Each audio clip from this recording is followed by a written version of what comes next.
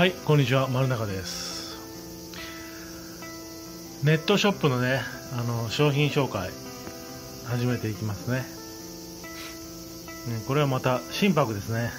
あの王道の模様着。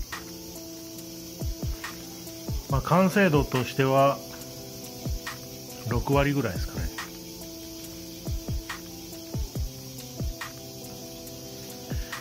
まあこれもあのね自分や師匠が作ったやつじゃなくて苗を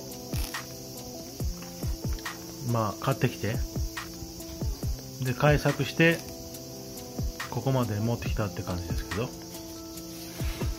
うちにどうだろうな。2, 2年3年ぐらいあるかな、うん、意外とこの根元がねあのまあぐるぐるなんだけどまあ太みがあっていいかなと思って。まあ当時はあの苗を買って。でもう早速師匠のとこ持ってって。針金で引っ張ったりね枝を抜いたり。なんかいろいろ針金かけたりね。いろいろして。うん。まあ3年ぐらい23年でここまで来たのかな。どうもねまあ俺もあの師匠もね心拍ちょっと得意じゃないもんであのまあやっぱり触る方としてはあの杉っぱになるもんで。まあねそれがまあ一番気にするとこなんなんだけど。まあでも昨今のあの展示会ではあの五葉松よりもね天に心拍。ほんで羽出しに五葉松があると思うんでね。